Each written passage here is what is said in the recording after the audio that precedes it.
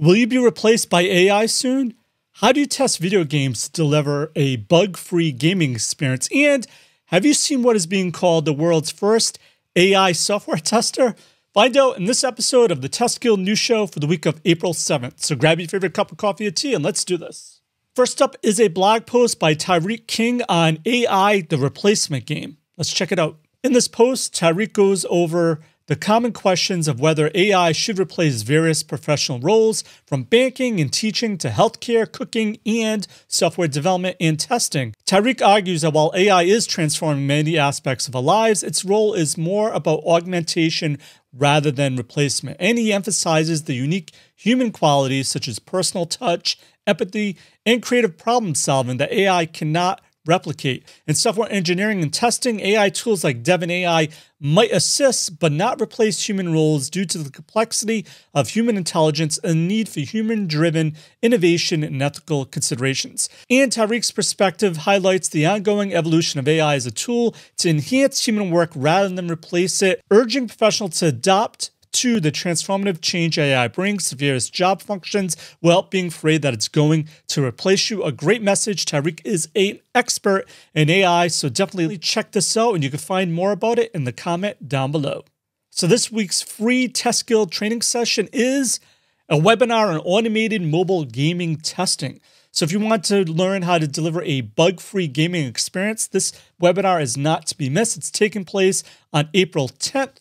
So register to discover why gaming is one of the most competitive markets and the most successful apps appeal to a wide audience by delivering consistent and high quality gameplay across different platforms. So this means developers and testers are tasked with releasing faster, with making sure that customers on every device, OS, and browsers have a bug-free experience.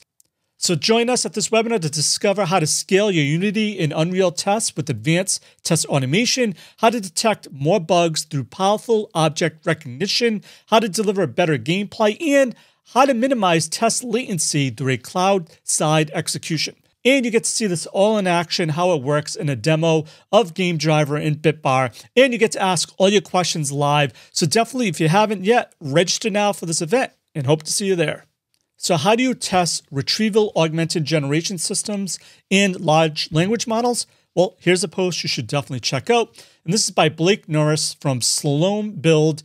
And he dissects the intricacies involved in developing RAG applications, starting with the basic overview of RAG's value and addressing the limitations of LLMs, chiefly their inability to cheaply and quickly incorporate new or updated information Blake delves into the nuanced steps required to construct a functional RAG system. He emphasizes that while the initial setup of RAG pipelines may seem straightforward, achieving a production level quality entails navigating through a maze of design decisions, each with significant implications for the overall quality of the system. And this comprehensive overview provides a foundation for quality engineers looking to really navigate the challenging waters of RAG implementation. It's something probably more and more of us are going to have to test. So take a deep dive, check it out in the links down below. So speaking about AI, here's a new development, a new tool that might be able to help you as well. So Harry Rao, the founder of TestGrid, just announced the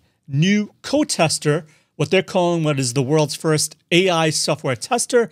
And this tool aims to free developers and testers from routine tasks, allowing them to concentrate on creating software faster than ever.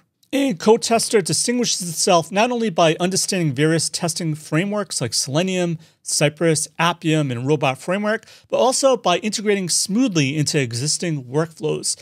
This page goes over how it offers capabilities that extend beyond mere testing after training, it can autonomously generate and perform test cases, identify and assign bugs, and participate in sprints, and even provide summaries and actionable insights along the way, all while continuously learning and improving. Just another use of AI, not to replace, as Tariq mentioned, but to enhance your testing awesomeness. Check it out and let me know what you think. So I discovered a new Cypress plugin you should definitely check out. And I found this on LinkedIn from Philip, who pointed to the Cypress Voice plugin. So, this plugin, developed by Dennis, is a plugin that provides auditory feedback on the results and duration of spec file runs, aiming to support developers in local development and debugging efforts. It announced whether a spec has passed, failed, been retrieved, or skipped, and includes detailed counts of each outcome and total runtime. Additionally, users can adjust voice pitch, rate, and volume to their preferences. And this plugin, which is designed to be used with the Cypress Open command for local runs, leverages in-browser text-to-speech capabilities through the Web Speech API, allowing for flexible language support based on the user's settings or browser defaults, and installation instructions and setup details are provided for developers to integrate this auditory tool into their testing workflows, which promises to be more accessible and efficient debugging process. So a really cool use of speech and Cypress. Definitely check it out in the comment down below. Kristin Jackvony is back in the news with a new post on solid principles for clean coding and how you can apply it to software testing. So, this post goes over single responsibility principles, SRP, with the focus on its relevance to software testers. The SRP is a cornerstone of the SOLID acronym, advocates for classes to have just one responsibility. And Kristin illustrates this principle using a login class example, which initially combines login and navigation functionality. She argues that while login and navigation might seem related, especially in test automation contexts, they fundamentally serve different purposes. And Kristin's analysis revealed that blending distinct functionalities within a single class can complicate future updates, such as adopting multi factor authentication, potentially jeopardizing existing functionality like navigation and this unnecessary entwining of responsibilities can lead to a higher risk of breaking existing code when changes are made. And the solution that she recommends is to adhere strictly to the SRP principle by separating responsibilities into separate classes. This approach not only simplifies modification and additions, but also minimizes the risk of unintended consequences of unrelated features. Definitely something you should check out if you're not using it now, and let me know if it works for you. So, this week in our private TestGuild community, Sebastian shared a new post and a practical guide he created on implementing sessions in Cypress tests with the focus on efficiency and simplicity, steering clear of theoretical explanations. And the post is called Once Upon a Time, a cy.session, and it highlights common pitfalls in session management. And Sebastian advises using the before each hook for each session shared across tests and emphasizes the necessity of explicit page visit post session creation or restoration.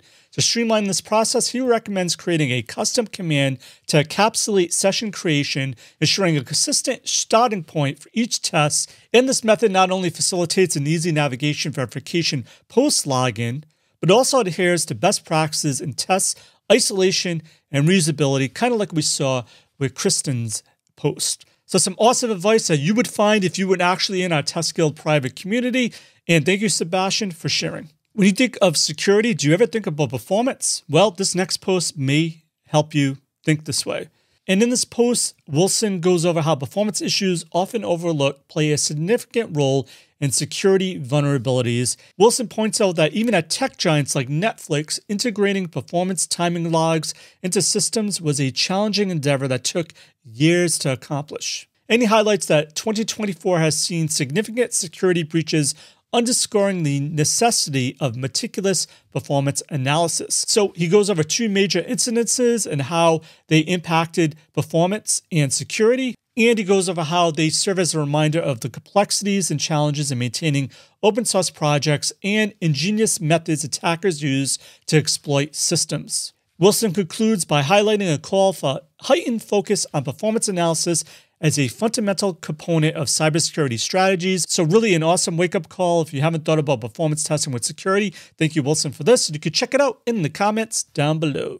And speaking of security, I can't believe this is still a thing, but Security by Design Alert, the Cybersecurity and Infrastructure Security Agency, and the FBI are urging software manufacturers to eliminate SQL injection vulnerabilities from their products. So, this PDF is in response to a recent malicious campaign that exploited these vulnerabilities to compromise thousands of organizations. And despite the widespread knowledge of SQL injection vulnerabilities and the availability of effective mitigations for decades, software manufacturers and developers have continued to develop products with this defect. So the SQL injection has been around forever. Let's end it now, and you can find out and learn more about it as well down below. So that's it for this episode of the TestGuild News Show. I'm Joe. My mission is to help you succeed in creating an end-to-end full stack pipeline automation awesomeness. As always, test everything and keep the good. Cheers.